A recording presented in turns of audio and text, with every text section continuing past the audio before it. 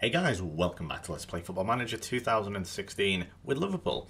And this is the second part, and we are seven games into the league. We're going to be playing Leicester in a couple of moments, and I'll get into how Leicester are doing and how they've got on. And remember, before we go over uh, how we've got on in the previous game so far and any and all transfers. Now, um, I said I wasn't going to make any particularly big transfers, and as you can see, all the ones here all came in when I, uh, before, in fact, I was here. Um, I've let a couple of players go. Um, there's been the main one is this guy Eric Pulgar sent to Schalke for six and a half million. Um, he just I don't understand what that entire thinking was here. The Carlo Ancelotti bought him in for just under 14 million pounds, played him six times. In fact, he had one start in the league. Didn't do a good job. To be fair, I mean, yeah, I mean, look at that average rating. I mean, that's just terrible. But yeah, he seems very. He was very unhappy. Um, and I had to sell him for six and a half million pounds. He just wasn't worth the paper he was written on, contract wise, that is. So um, I just thought I'd make some money off him. Uh, I sold McConville here, this young lad, for 450k, who was never going to be good enough. Um, Pascal Naffy, or Naffel, I think that's, I can't, can't call myself that, an I or an L, for 3 million to Sassuolo. Uh, Romain Perraud, another French, uh, real, these are all real players, by the way, I think, except for McConville, I think he might have been a regen. Um, again, just not utilised at all. I just don't know what they were thinking, really. Uh, and Xavier Roussel, who is a regen, uh, he was sold uh, again. Bought, oh, in fact, he's gone on loan. I beg your pardon. He's actually a good player. And Moussa Dembele, the uh, the former Fulham player, is now at Bournemouth. Sold him for two point two million. So we actually made the profit on him, I think. And yeah, I just haven't brought any in because I was I was reasonably happy with the squad. Um, unfortunately, we've had a few injuries and things like that, and I'm, I'm, actually starting to see, you know, how good some of these players actually are. Um, but we'll go over that now with the schedule. So, as we saw, we played Bournemouth and we won 2 0, and it was really easy. Firmino and Tizard both scored. And I thought, great, we've got some great heroes in the making. And we carried on and we won 2 0 again, this time against West Brom. And James Tizard scored 2 in 2. Uh, and so did Vaclav, uh, Cherny, who isn't actually as good as I thought he was going to be. Yes, he scored here, but he hasn't actually done much else since. But I'll just show you this now. Um, and I was really, really excited, thinking, "Oh my god, we might have something." I mean, if that is the worst goal you have ever seen, how the hell that goes down to Cherny, I have no idea. I, I didn't even think that was going in. So, yeah, the, the, single worst goal you've ever seen. But a, they all count. Who cares? But yeah, Cherny, he's still only 22, so there's still plenty of time. But um, I'm going to have to be quite ruthless with some of these players. Even Jordan Henderson, who um, at times I have gone, so what's the point of him? you know, especially when you've got like Coutinho and and Kondogbia, Pjanic on the bench and things like that. So um, yeah, it's it's it's um, coming together reasonably well. But that is a beautiful header by Tizard. He leaps like a salmon and uh, pops it in the back of the net. Then we won 1 0 against Newcastle, and as you can see, 1 0 against City. So we won the opening four without even conceding a goal. Then, as you can see, things went off a little bit. Yeah, went downhill a little bit, so we say. Uh, and Firmino, who, as I say, is so good on this game, he's just brilliant. Uh, with a 50th minute winner here, as you can see, we dominated the game. It was a breakaway. Tizard, I think, got the assist. Pan- fantastic pass, and Firmino slots it away. But yeah, he's having an amazing impact as uh, James Tizard here. And here's the 1 0 victory over uh, Manchester City, and it was Tizard again. So that was uh, 3 in 4 for him. Absolutely fantastic. And as you can see, Man City were just not on on the day, they were not very good at all. Nathaniel Klein, uh, sort of like he is in real life, really, the, the only consistent one. And uh, it was a tackle, I think, by the number three here. Is that Sagna still, or is that someone else? Rodriguez, it was. And it went straight to the path of Tizard on the spot, and he slotted it home. And as you can see, uh, I think we deserved it. If you look at the stats there, um, yes, I mean Raheem Sterling had a good game and Klein had a good game, but Tizard was the one on the spot and he, he got the win for us. And we then played. Okay, this is our Champions League group. We've got Zagreb, Zenit, and Marseille. Now, I just want to say Marseille are fantastic on this. They um, have always been quite good for me, really, on my saves. Uh, you may notice they won the Champions League here. I'll just show you real quick. Uh, Champions League winners 2018, just in case you're uh, new to the series or whatever. As I know, I do pick up some new viewers um, when I start a new team. Uh, this is the last. Uh, here's, here's last squad they put out. So you have um, Higuain's there.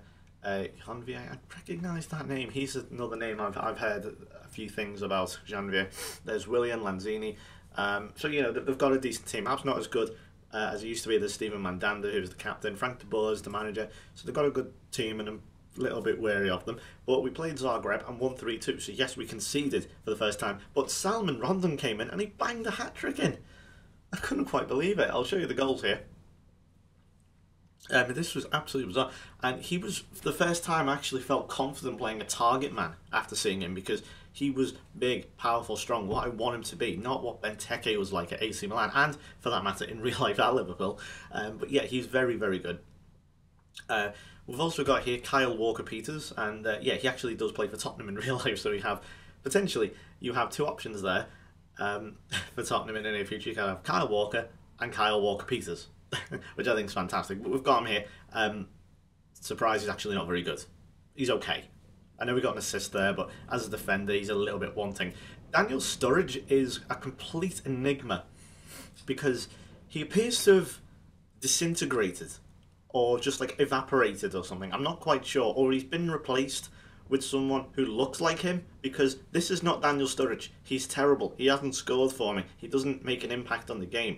Uh, he's absolutely horrible. And also, can I just make a point? Salomon Rondon has the hardest shot I've ever seen on by anyone on Football Manager. He absolutely smashes it into the back of the net. Uh, there's been saves uh, I've seen goalkeepers make where they literally can't catch it. It's too strong, and they just punch it away. But because the shot was so powerful in the first place, it just sort of ricochets off their hands.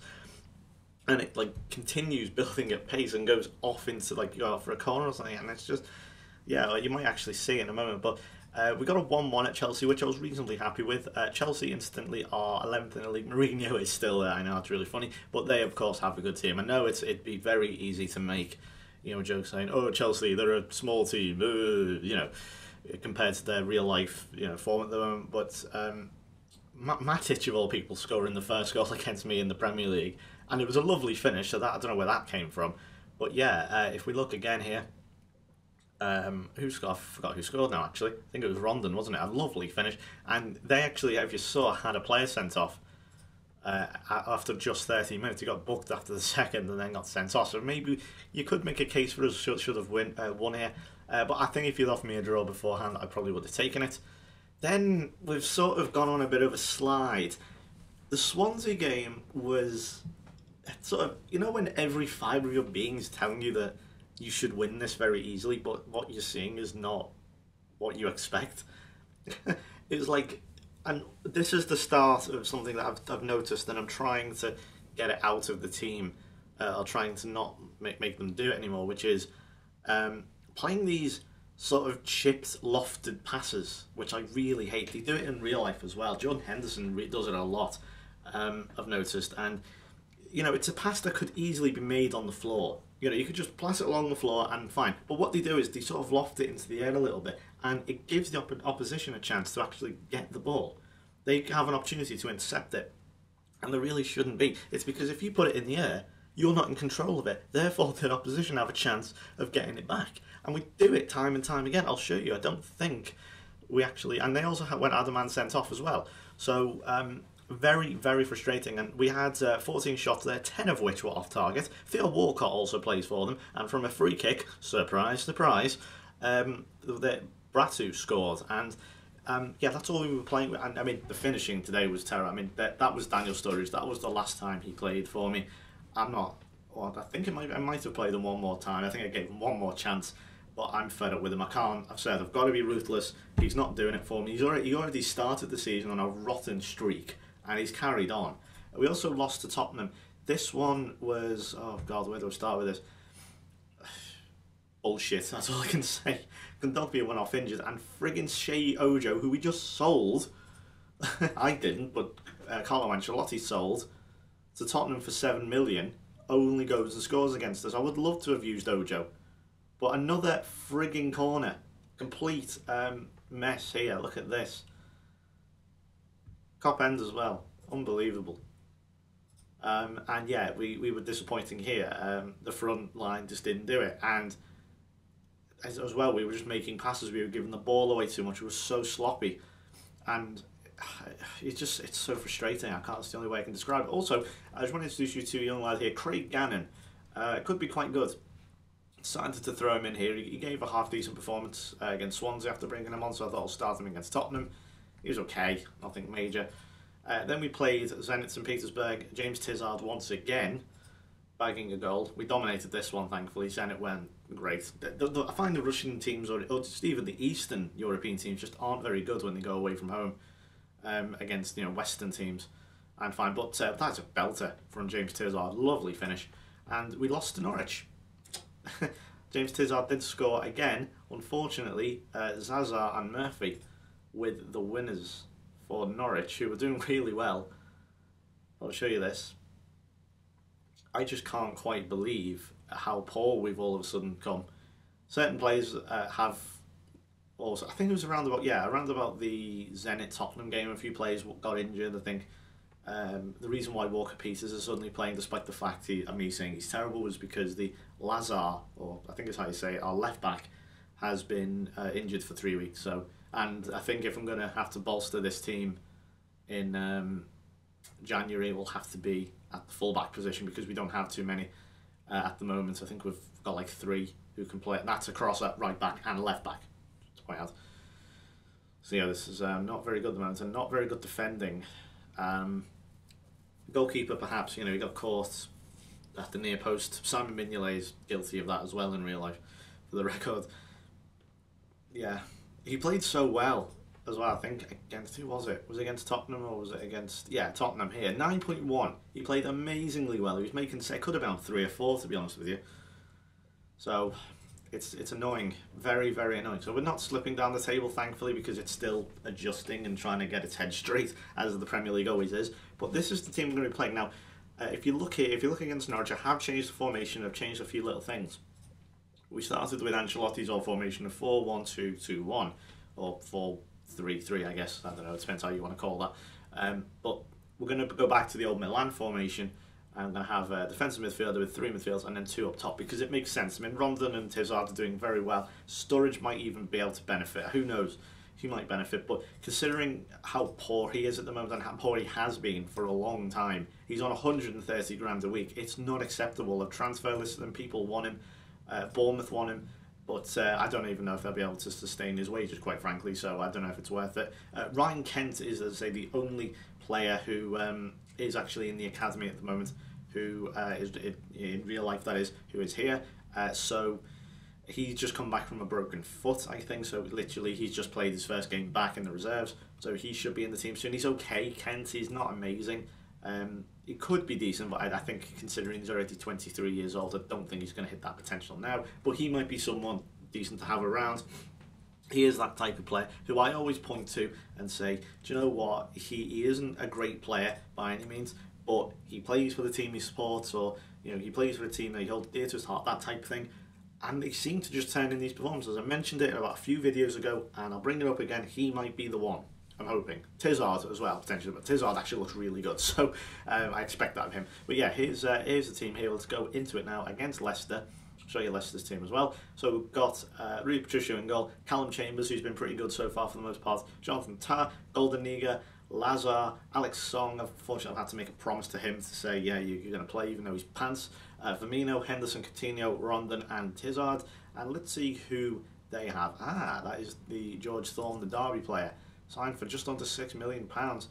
Um, I don't really know too many of the others. Ah, Kevin Wimmer, I think, is that as well. Yes, the Austrian at left back, and that's it. So uh, they're the only ones I can look at on the top of my head. So let's go. I mean to stop this rot. Really, yes, we um, got the win against Zenit, but it wasn't. You know, let's be honest here. Less Zenit St Petersburg, as I say, they don't travel well like many European teams. But I'm hoping uh, this formation should do as well. Now in terms of their knowledge of the formation, it's obviously going to be very weak. Um, that will and can only improve as the weeks and months go on. So uh, I am going to be a bit forgiving when it comes to that. And goodness me, he should have scored. I didn't quite get his name there, but God, God, he should have scored. Okay, we are in fact going to go to counter here, Something I always like to do when I go to sort of you know set, at least semi-tricky places, if not very tricky places. It's just play on counter, just because it's just easier. You don't have to worry about um, thinking, oh, am I too defensive? No, no, no, you're defensive plenty. Because if you're going too defensive, as in defensive there, the mentality, literally defensive, uh, then you're not going to score. As far as I'm concerned, really, you're not going to score. you, you might score from a set piece, but that, that just says to me, I don't want to win, or I'm not trying to win. And oh my god, yeah, as you can see, we're just being past death at the moment, and um, this has sort of been the case where teams see that that type of pass. Okay, it worked that time, but that was because there was no one there to really intercept it. But we seem to play that pass now. Let me just check here. Have I got? I need to change it to shorter passing, but as far as I can see, that doesn't actually change anything. Oh, I also needed. I, I did play as well, narrow it and exploit the um, the flanks and everything, but I, I've just turned all that off. I just want to see how they play with relatively few instructions on, just to sort of basics on, and then we can tweak it. But bear in mind, this is the first game I'm using with the new tactics, so in fact, considering they're on, I should probably give it a go now. This was give or take what I was using at Milan, certainly at the start. Fortunately, not many highlights. Every time I bloody turn the camera on, honest to God, we've not even had a shot on target. We have, according to the ratings, been marginally the better team. Waiting for the thing is, if Coutinho and Firmino turn up, more than likely we're going to win the game. If in fact just one player turns up, then we're going to win it. Uh, I'm just going to ah, they've got Phil Jones. Is that? Yes. Okay, that's a strange one. Let's see who they've got on the bench. There's Edit. Oh, they've got Dzeko, Rose, uh, Hector, Drinkwater still there. So, ooh, could be tricky if they've got some decent subs. Okay. Um, yeah, I think I, I perhaps do need. Just change it to that again. Okay, I'm just going to leave and retain possession. We're just going to leave these for now. Well, you could you could hear my mouse click there. Come on. right, let's try it. Second half, hopefully, will be a little bit better. Perhaps need to get out of counter. But again, look at that pass. Like we never did that at Milano. We did it very rarely. But it's like, you know, they, they just sort of lofted into the air a little bit. And the opposition almost always intercept it. If, if they're in and around uh, where they need to be, they're going to intercept it. And that's such a pathetic attempt from a free kick from Henderson. Right, here we go. Chance here maybe for Firmino to rip it in. Chambers, Song. Don't you shoot. I just trust Alex Song to shoot from there. Off balance and everything. And there's Tizard. Oh, he's just on fire. He is unbelievable. Lazaar, we miss him, he is genuinely key, I think, to our team at the moment. You can tell the games he missed, struggled, but he is very, very good. I'm already beginning to like this guy a lot. And um, James Tizard is just absolutely on fire. I'm going to make a change in a moment. I'm going to take off. I'm actually going to take Rondon off, and I'm going to give one final opportunity to Daniel Sturridge. I'm going to say, this is it, right here, right now. If he doesn't score or have a good game, I'm done. I know I said that was his last chance before, um, but I think I might not have played him in his desired uh, role, not not as a complete forward. I think he was just playing as an advanced or a poacher. So I'm going to give him this. He's going to have 20 minutes. If he doesn't do anything, because bear in mind how much money he's on. He's on a lot of money. So I'm prepared to give him this final opportunity. This Coutinho. Sturridge, here we go. Chance for him to get a shot I know it was blocked. Okay, it was blocked. I'll let him off. I thought he drilled that one wide quite pretty, well, terribly, really. Oh, Alex Song, what are you doing? What? Oh, thank goodness. Actually, did he just say clears the ball to safety? He was literally the furthest player up the field. How can you clear? Okay, that was weird. It's oh, chance for Sturridge. He's there. We go. Thank you. Thank you, Daniel Sturridge. Goodness me. He might have some use after all. Oh, right, okay, I'm going to take Coutinho off. His um, condition is not looking good, so I'm going to bring Cherny on. And I think that'll do. I'll just leave it like that, I think. Finally, Daniel Sturridge, he might have finally found some form. Hopefully we can do something with him. Yeah, I think that that's a good three. Oh, oh, God, I thought that was a penalty. thought that's going to make it a, for a nervy ending, but there we go. 2 0 against Leicester. I think we might have just turned the corner there. Lazaar coming back into the team. You can, as I say, he was injured for three or four weeks and we missed him dearly. Man of the match here. Fantastic. Tizard with the goal once again. And Daniel Sturridge, who has been, in fact, watch, you'll see the news article now saying Sturridge finally relieved the score. There we go. 15 games. That, of course, stretches all the way back to last season when I wasn't here. But uh, he finally scored Lazaar with the man of the match, as I say, with the assist as well. Who does he actually play for in real life? I'm intrigued. Uh, Palermo, by apparently. Um, I signed him for 11 million pounds. So, but he does look to be one of the more consistent players over the longer period. Okay, so let's have a look at what has done for the league. Now, I just want to I, I said last time we didn't have any board expectations. Uh, it is to simply qualify for the Europa League. Uh, that is the minimum aim I think we should really be um, trying to get in the Champions League. Let me just check. I'll just check the rules because when I left, a funny thing actually happened right as I left Milan. Italy's coefficient actually dropped. So they got one less Europa League spot. The Champions League spaces were um, unchanged, but they actually got one less Europa League spot. Let me just double check and make sure there hasn't been any more changes because I won't have been alerted to it.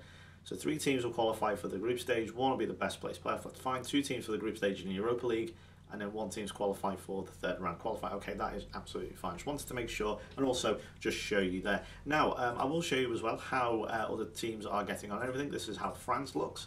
Uh, Paris Saint Germain haven't lost yet. What a surprise! Um, just a waste of time, really, isn't it? Looking there. Here is Bundesliga, Bayern Munich going very, very well. Uh, Dortmund, who incidentally have uh, brought in Luis Enrique, and Leverkusen brought in Tata Martino. I think it's Tata Martino, I think it is, isn't it? And uh, here is Italy. I'll just show you Italy as well. Uh, Milan, who have hired Massimo Allegri, who left the Italian job uh, after, that's the name of the film, um, he left Italy and has gone subsequently here. They've brought in a young lad called Fuba. Okay, how much did they pay for him? £14 million and he has not scored yet. okay, fair enough. The captain's now Daley Blind. And yeah, they seem to be doing okay. Alright, I guess. So hopefully they won't uh, be too much of a target for us to take down. Yes, good performance out of Lazaar and they're already getting pissed off at the results. You can see, matches not good, 44%. We need to get them back on side a little bit. Right, so that's going to do it for me. I hope you've enjoyed. I will probably rejoin you. I think let's do the Manchester United game. That'll be a good one. I've Got to do. In fact, yeah, there's quite a few good games. We've got Arsenal, then Everton. So we've just got to get through this horrible little period here. We played likes of Derby, Watford, Southampton, Marseille twice. And then the really hard ones begin. Okay, so thank you for watching. I will see you probably tomorrow. So uh, if you enjoyed, please leave a like, and I'll see you tomorrow. Bye-bye.